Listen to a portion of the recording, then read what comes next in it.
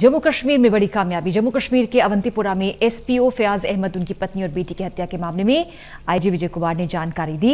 IG ने कहा कि आतंकी मासूम लोगों को निशाना बनाकर डर का माहौल बनाना चाहते हैं। उन्होंने बताया कि आतंकी संगठन लश्कर तैयबा के कमांडर नदीम अबरार को गिरफ़्तार किया गया है।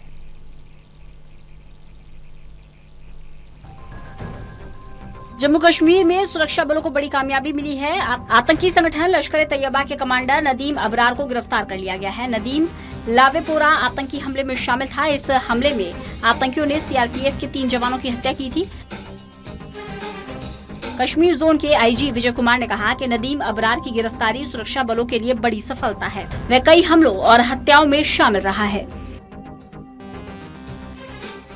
इसके साथ ही उन्होंने कहा, हमारे पाँच जवान शहीद हुए थे। इस घटना में शामिल लोगों की पहचान कर ली गई है।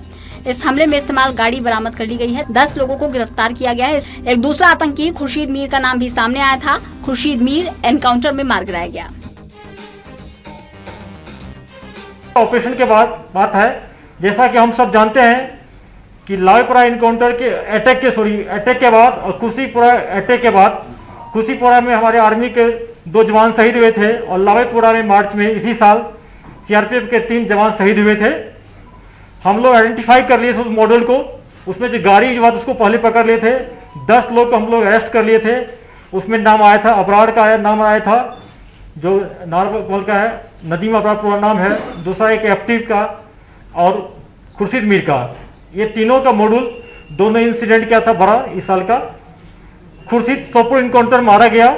उससे जो हथियार ए के फोर्टी में रिकवर हुआ था, वो हमारे सीआरपीएफ के जवान का था।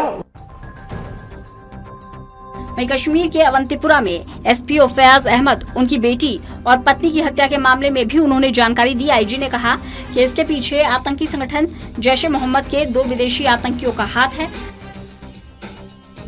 आतंकी मासूम लोगों को निशाना बनाकर डर का माहौल बनाना चाहते हैं। आतंकियों को अमन चैन पसंद नहीं है। इसके साथ ही आईजी विजय कुमार ने कहा कि नागरिकों को निशाना बनाने वाले आतंकी बचेंगे नहीं। तराल में एक इंसिडेंट हुआ था, जिसमें हमारे एक एसपीओ को शहीद कर दिया गया। जब उसकी वाइफ और बेटी बचाने आई तो मिलिटेंट ने उसको भी अंधाधुर फाइन किया, उसको भी शहीद कर दिया।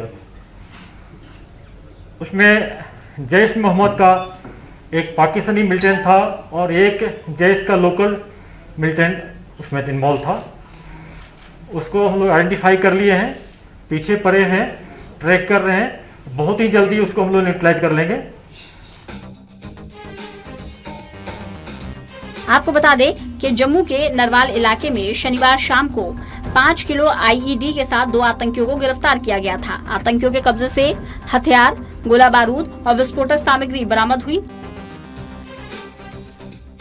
आतंकवादियों को समय पर गिरफ़्तार कर जम्मू शहर में एक बड़ी आतंकी साजिश को टाल दिया गया। आपको बता दें, जम्मू पुलिस ने शहर के बाहरी इलाके में एक प्रमुख शॉपिंग मॉल के पास से दो आतंकवादियों को गिरफ़्तार किया। पुलिस को आतंकियों की मौजूदगी की सूचना मिली थी, इसी के आधार पर पुलिस ने ऑपरेशन शुरू किया। आतंकी शहर में हमले को अंजाम देने से पहले प्रमुख प्रतिष्ठानों की रेकी कर रहे थे। इस ऑपरेशन में पुलिस की विभिन्न टीमें जुटी हुई थी। आतंकवादियों से ये पता लगाया जा रहा है कि उनके अन्य साथी भी जम्मू में घुसने में सफल रहे या नहीं।